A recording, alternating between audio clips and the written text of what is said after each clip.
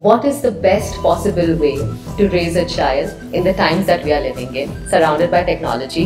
Do you think travel is one of the best ways to educate your child? You can raise only cattle. A human being cannot be raised. This is a real crime against humanity that you've already fixed what your child should become.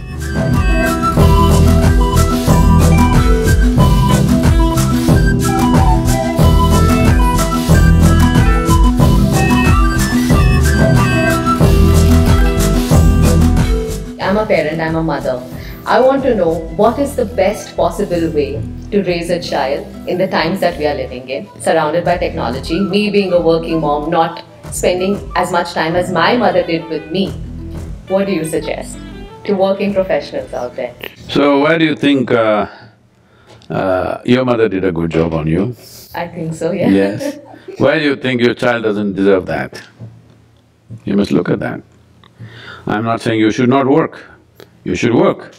But once you have a child, it's a twenty-year project. That is if they do well. Otherwise, it's a lifelong project.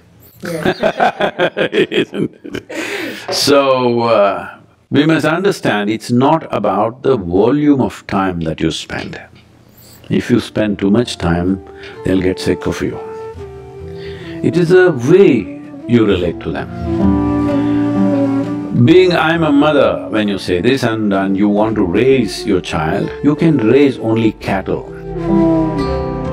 A human being cannot be raised.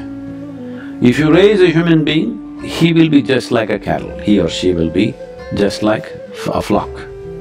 You should not raise, you must cultivate and watch what is going to blossom. But raising means you already fixed what they should become. Don't ever fix that. This is a crime against humanity, I'm saying. I'm using a very strong word.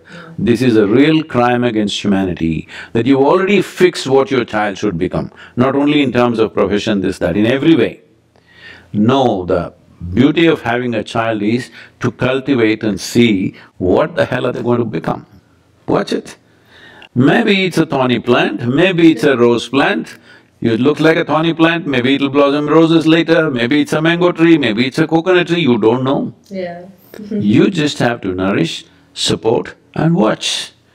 You don't raise. Raise means you've already fixed the end. You don't do that. In terms of morals, ethics, is… or is it just about… See, do you want your child or yourself to be guided by your morality or guided by your humanity, which is better?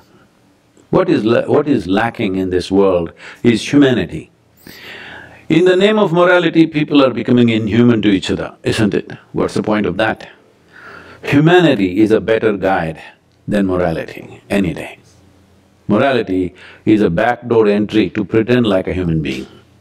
But I thought you were a human being, why should you pretend? Yeah.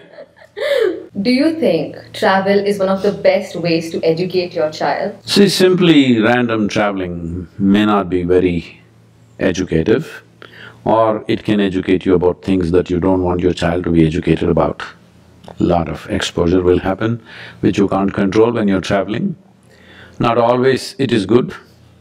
So these things have been said by the English people and we're going on repeating the same thing because English people were trapped in a small island. If they didn't travel, they didn't see anything other than the grey mornings, mostly, all right? Even to, to sunlight, they had to come to India. Oh. Yeah. so, this travel is the best education. This was said by some English people because they're trapped in a small little island. When you're on an island, you must travel. But if you're elsewhere, you must travel to an island for fun. Yeah. That's the whole thing. I wouldn't uh, make that like a prescription, it depends on the kind of person you are. Some people grow with travel, some people get crushed with travel. I think it should be looked at that way, it's not like a common prescription. But a lot of people would benefit by travel, at least they would loosen up from their day-to-day structures they have set up in their minds about with whom they can talk, whom they cannot talk, in new places, new people. It could loosen them up a little bit, definitely